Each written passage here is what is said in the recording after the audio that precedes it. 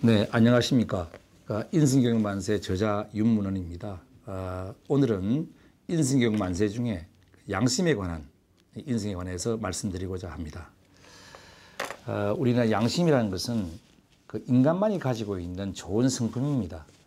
아, 우리가 인생을 살면서 좋은 마음을 가진 양심을 가지고 살아가는 것이 이 인간으로서의 마땅한 도리입니다. 그런데 이 세상을 보면 현대 사회 보면 그 양심보다는 눈앞에 보이는 이익에 급급을 해서 살아가는 사람들이 굉장히 많습니다. 그래서 우리가 아, 우리가 인성 교육을 통해서 양심을 되찾는 양심을 우리 밝히는 그러한 자세를 가져야 될 것 같습니다. 아, 특히 우리가 그 스님들 중에 많이 훌륭한 분들이 계십니다만 태계 이왕 선생은 그 성악 10도에서 양심을 거울에 비교하고 있습니다. 아, 우리가 거울은 이 처음에는 굉장히 맑은 것이지만 가면 갈수록 때가 끼고 먼지가 쌓이고 그랬기 때문에 우리는 항상 그 양심이라는 그 마음을 계속 그 갈고 닦아야 된다는 겁니다. 그래야 양심을 지킬 수 있다는 거죠.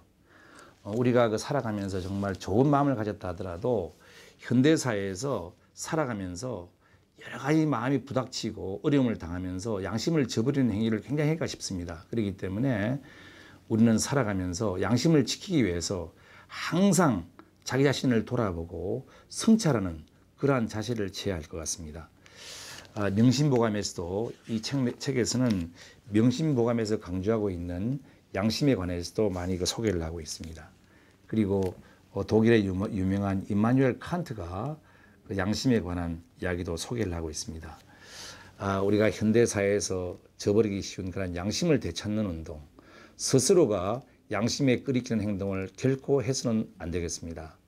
아, 양심에 저버리는 행동을 통해서 이 순식간에 에, 굉장히 어려움에 처하는 경우, 평생을 망치는 경우가 비일비재합니다. 아, 오랫동안 몇십 년 동안 산 그러한 그 모든 공적들이 그 유혹에 뿌리치지 못해서 양심을 저버리는 행동을 통해서 그 어려움을 겪고 정말 그 교도소에 가는 가기까지 하는 그와 같은 일들을 당하는 경우를 우리가 매일 어떤 면에서 보면 언론을 통해서 목도하게 되는 거죠. 어, 그래서 우리는 그 양심적인 생활, 어떻게 하면 양심을 기를 수 있을 것인지, 자기 자신을 돌아보고 항상 자기 자신을 반성하는 그러한 자세를 취해야 할 것 같습니다. 아, 모두가 양심을 가진 그런 사회, 그렇게 해야만 우리가 살아가는 공동체도 아름다워지고 스스로 본인에 대한 이 자긍심을 가지고 이 세상을 살아갈 수 있다고 생각을 합니다. 감사합니다.